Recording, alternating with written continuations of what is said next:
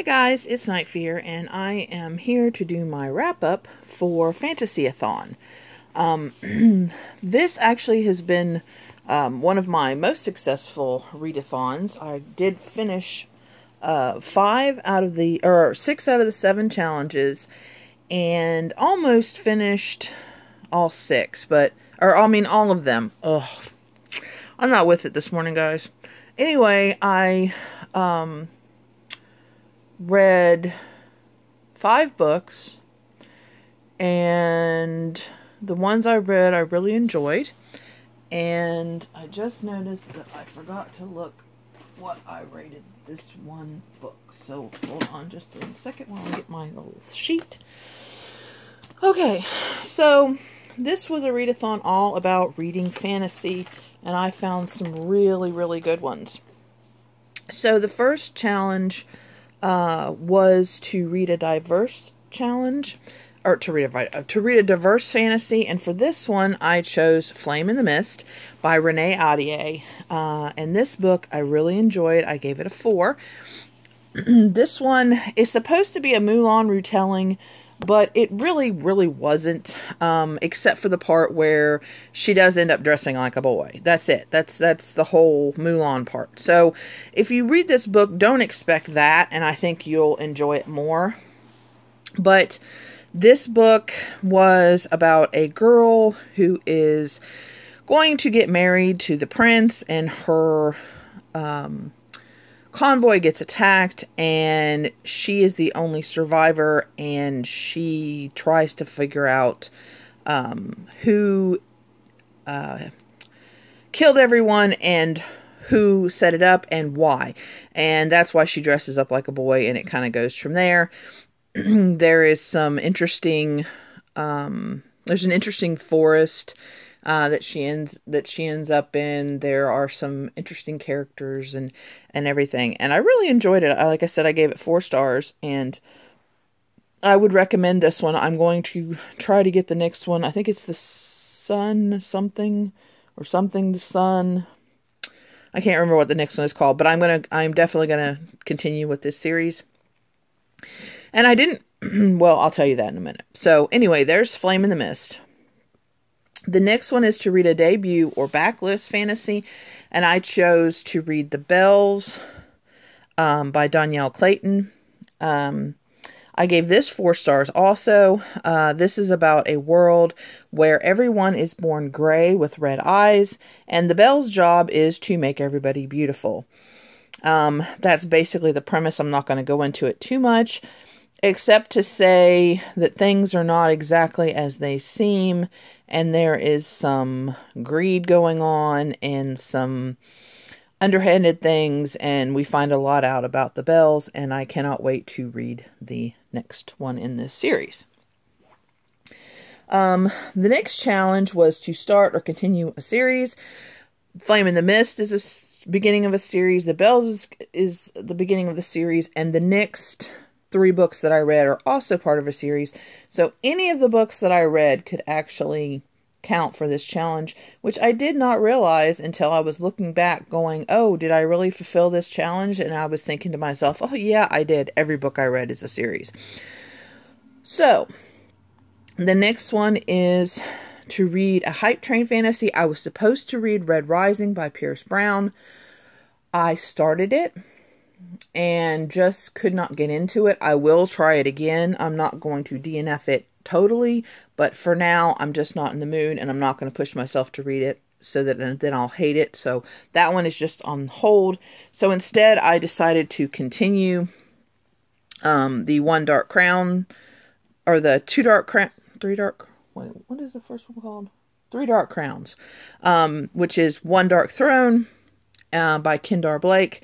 Um, this is the second book, and I loved this. I, I, I gave this five stars. Um, I'm loving this series. I do have the third one over there.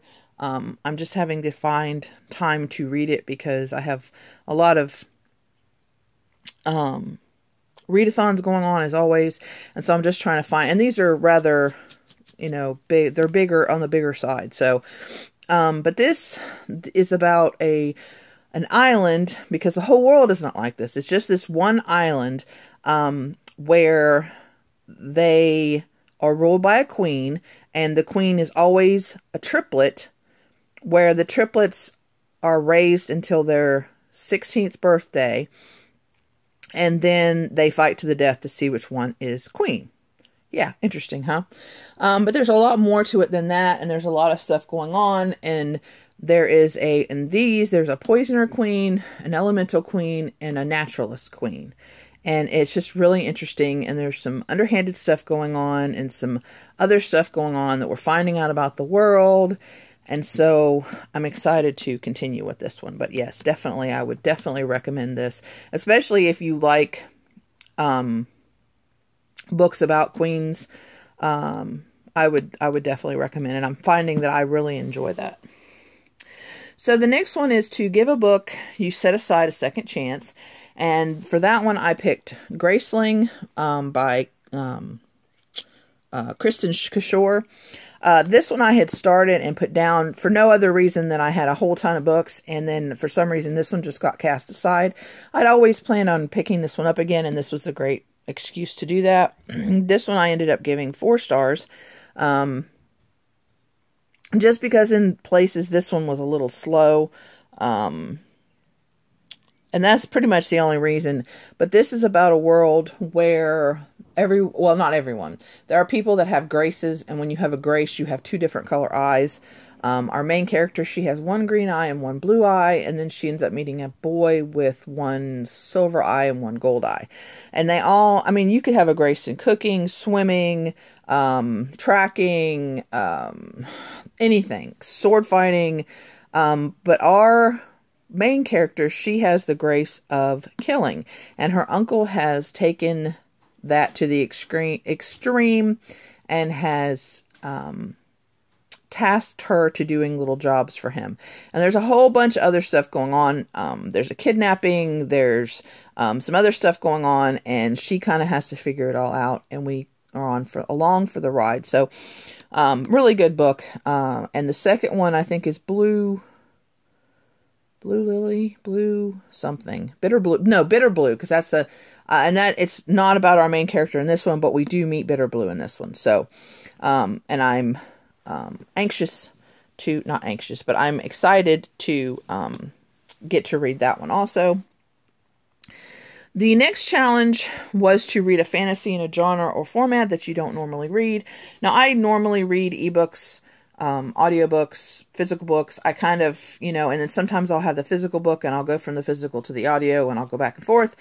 so for this one, I had picked the Zombie Survival Guide, uh, which is, I mean, it literally reads like a survival manual, like, you know, like you'd expect to um, have, like, from the Boy Scouts or whatever. And it's kind of boring a little bit, and so I only got that far. I will finish it. Um, but it's I'm discovered that survival guides guides like this are not my cup of tea.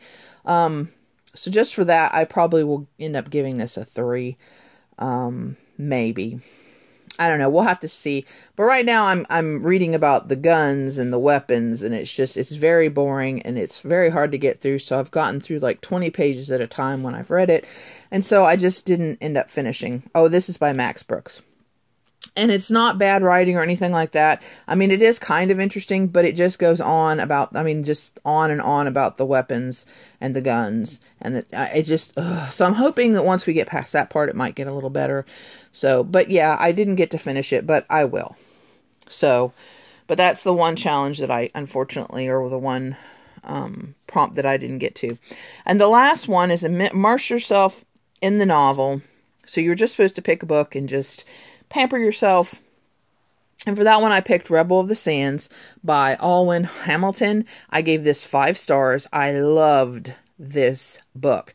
I'm finding that I really like this um, Middle Eastern desert. Um, of course, you know, Flame in the Mist. Not so much desert, but then I also read another one, which I'll tell you about um, A Thousand Nights by E.K. Johnston. Um, I read that one too, which was another desert fantasy type book. So um, I'm finding that I'm liking this, you know, Arabian kind of book.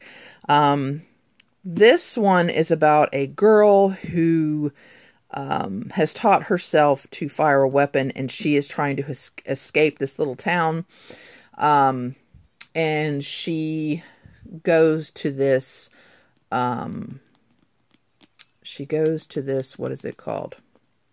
Firing range thing type. Well, it's a, in a, it's in like a, like a bar type thing a, a, barn actually, but then they have it set up like a firing range, and there there's competitions, and she was one of the people in the competition, and so she, and there's money involved, so she's trying to use that money to escape um, because they're trying to they're there's talk about trying to marry her off, and she obviously doesn't want to get married, and so she meets this foreigner and there's something a little strange about him and it kind of goes from there and they end up escaping together through a whole bunch of stuff and we find out things about him and about some other things going on in the world and we meet there are jinn in this book um, different kinds and um, she ends up discovering some stuff about herself that she didn't realize too so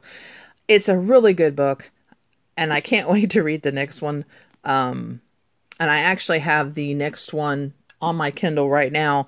Um, but just like um, Two Dark Reigns, I'm having to figure out exactly how to read those two because they're not on any of my other TBRs and still complete the um, challenges for the owls that I'm trying to trying to um, oh that I'm trying to complete. So, but I would highly recommend that you try this out, especially if you like the like the Middle Eastern desert Arabian kind of tales. So, but anyway, that was those are the books that I, you know, the physical books I ended up reading um and then the Belles. So, I really I mean all the books were 4 stars or 5 stars. So, I think I did really good.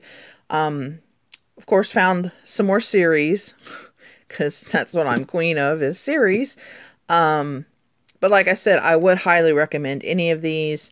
Um, just with Flame in the Mist, don't go into it thinking Mulan because not at all. No Mulan. No, no, no. But read it for a Arabian, Middle Eastern type tale, and I think you'll. Or no, actually, this is not Middle Eastern. Japanese. Um, a Japanese inspired tale uh, and you will do a lot better. I don't know why I said Middle Eastern for this one. I guess I was thinking about this one.